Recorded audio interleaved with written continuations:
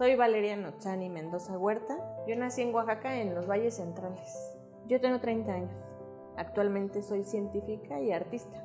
Estudié biología.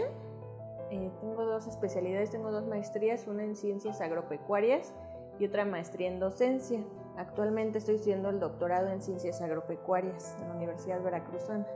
Y a los 17 años quise experimentar, este, probar una droga y consumí un gramo de, de lo que se llama aquí éxtasis. El diagnóstico que me dieron en el Instituto Nacional de Psiquiatría fue trastorno bipolar más trastorno obsesivo compulsivo. Decidí eh, tener una familia, decidí embarazarme, que ahora estoy esperando un varón. Mi discapacidad psicosocial no me limita en ofrecerle una vida excepcional a mi hijo. Que la familia se aleje, eso sí es muy doloroso, ¿no?